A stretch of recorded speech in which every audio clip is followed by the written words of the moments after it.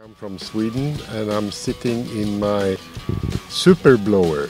It's an AC that was built as a continuation together with uh, 17 other cars on the original jigs, handmade aluminium and it has a uh, 5 liter or a 302 cubic inch engine.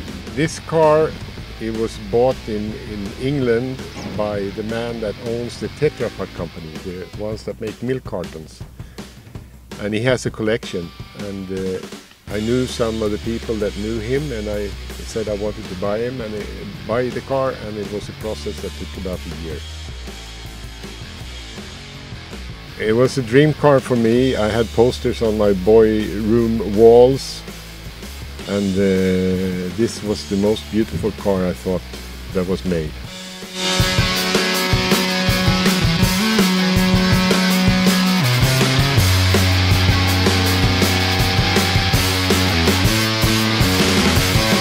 I'm just a curator. Somebody will someday take over this car and and uh, I'm very careful to who I will sell it to because you need people that has passion for cars like this.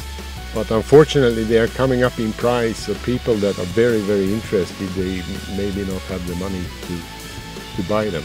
This has independent suspension so it's it's uh, it's a comfortable ride compared to the ones that uh, was built in the 60s. They had leaf springs in the back and when they put the 7 liter or 427 engine they uh, called it the Widowmaker.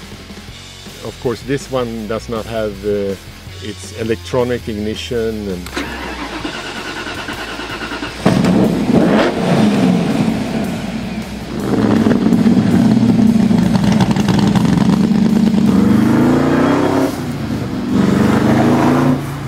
you can see the motor is far back in order to give the car good balance so it's got 50% weight distribution on the front and the rear so it's like a go-kart but you have to be careful because there's a lot of power.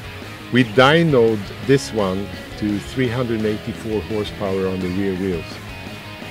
And uh, this specific, since I rebuild uh, parts of it, uh, it's, uh, it's quite fast. It's about uh, 3.6, 3.7 from zero to 100 kilometers an hour.